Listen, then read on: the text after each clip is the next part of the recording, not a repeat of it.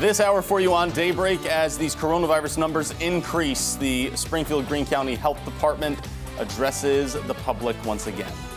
And an app for people to find out if they've been exposed to COVID 19, but it's not available in Missouri. We'll explain why. Also, Missouri State is offering to ex- students to experience creative works from various parts around the world. We'll show you how. All ahead this morning on Daybreak. Good morning, and thanks for starting your Thursday with us. Today is November 19th. I'm Jennifer Abreu. And I'm Joe Morano. We have a lot to get to for the next hour for you. We've got plenty of news, and of course, our check of the weather. Meteorologist TJ Springer is joining us this morning. Good morning to you, sir. Good morning, guys. How's it going? Going well. It is Thursday, Friday Eve, like you like to mm-hmm. say, TJ. We're looking forward to it. It kind of sounds better when you say that, right? Get Friday in the name. Just yeah, put you in a brighter state of mind, I think. Yeah, and it'll be a good day today too, right? Yeah, to definitely. be outdoors and enjoy our Friday Eve. Oh, it'll be perfect. Yeah, maybe get to one of our local parks around town, just enjoy some outdoors time is going to be a great idea today. But the wind's going to be a big weather headline. We had them around yesterday from the south, which did help pump up our temperatures.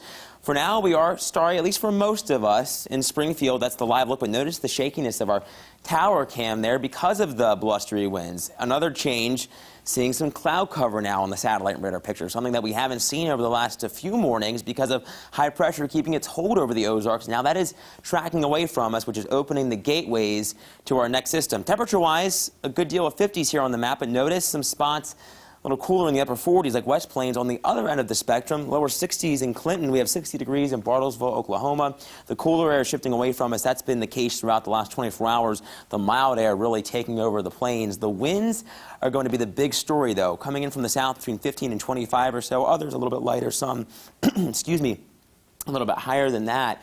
But the flow is what is key because it's going to keep us well above average. Gusts could be near 40 miles per hour. Some spots I think could see over uh, and feel over 50 mile per hour wind gusts, at least get up that get up to that speed, and that's going to keep us uh, warming through the day. I think we'll probably get into the middle 70s by later on today. So that's something we'll be keeping tabs on. Of course, what comes uh, for the weekend. Wind advisories have been posted. 50 degrees to start off the day. We'll be back in the middle 70s by the ride on home. The wind is going to hold. We'll talk more about that coming up in our forecast in just a little while. Guys?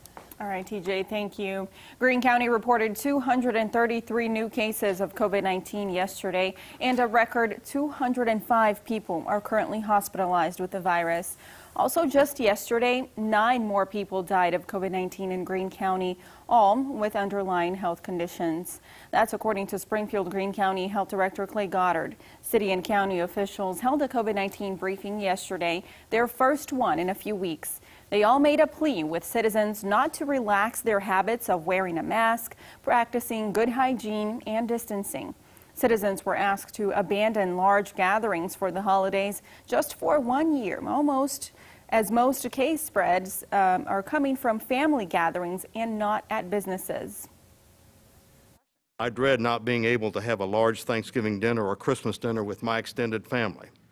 Indeed, my own family's Thanksgiving plans have been altered by COVID. But I feel good in knowing that my actions will help prevent me from unknowingly spreading the disease to others who may not survive it. One dinner is not worth the risk of losing someone forever. The call again was made for a masking ordinance statewide as Greene County has been taking on many patients from surrounding areas that have no ordinance in place. Also, Mayor McClure says the risk with a shutdown is the financial safety for business that just doesn't exist right now, such as extra unemployment money, paycheck protection loans, and CARES Act funding. There's now an app for people to find out if they've been exposed to COVID-19, but it's actually not available in Missouri. It's being used in 20 other states right now, but not here because of privacy concerns. If you try to turn the app on while in Missouri, you'll get a screen that says notifications are not currently available. However, Chief Information Security Officer for Blade Technologies, Scott Schaefer, believes an app like this could be safe and helpful with the underpinnings already being written by uh, Android and by Apple, uh, you would really have to kind of work at it to be able to expose any personal information. Schaefer also says creating an app for a specific state could take up to 30 days, but the Missouri Department of Health and Senior Services says they don't plan to implement that right now. And many people may be having a tough time following COVID 19 safety guidelines, which could be contributing to our continued rise in cases. Some health experts are calling it coronavirus fatigue or pandemic fatigue. Fayetteville Public Health Officer Dr. Marti Sharkey says some people are just tired of hearing about COVID 19, having to wear a mask, and not being able to see their loved ones as freely. Dr. Sharkey says as humans, we have a need to connect, and she says she believes people are letting their guards down when getting together, not wearing a face covering, meeting in groups, and not practicing social distancing. Dr. Sharkey says although people are ready to get back to their normal lives, the reality is there is much more at stake if people don't follow the safety guidelines.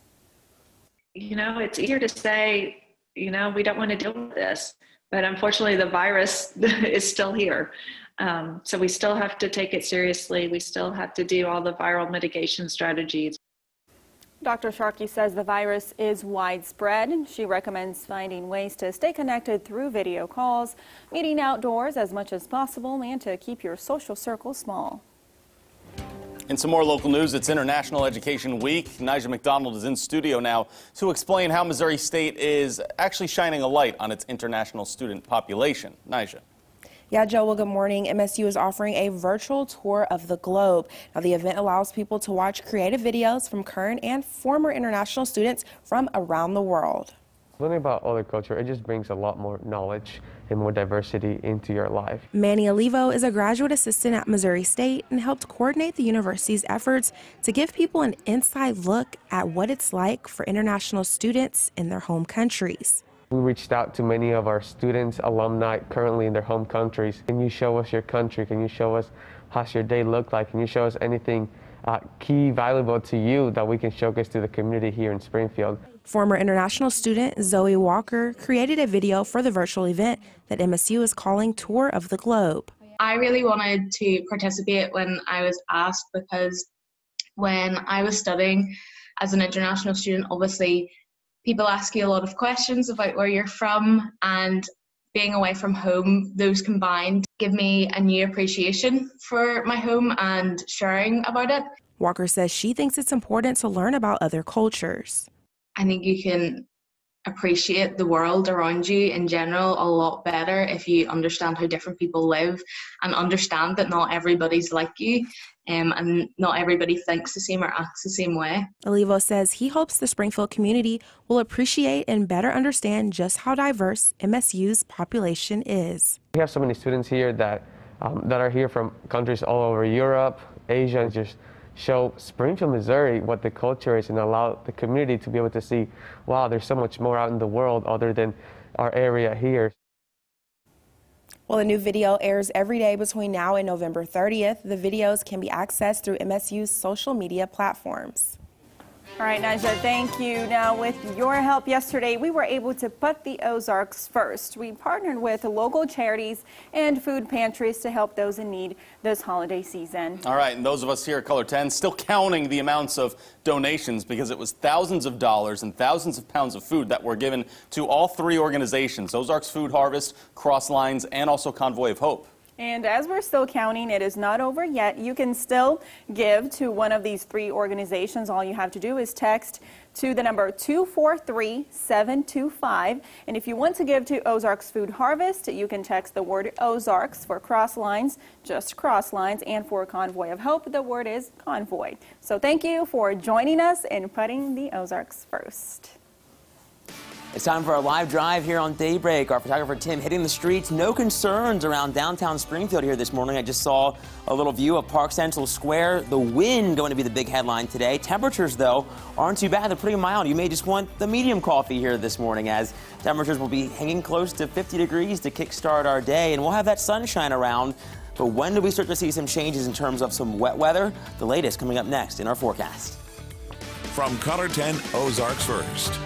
Jennifer Abreu, Joe Morano, and weather with meteorologist TJ Springer. This is KOLR 10 News Daybreak.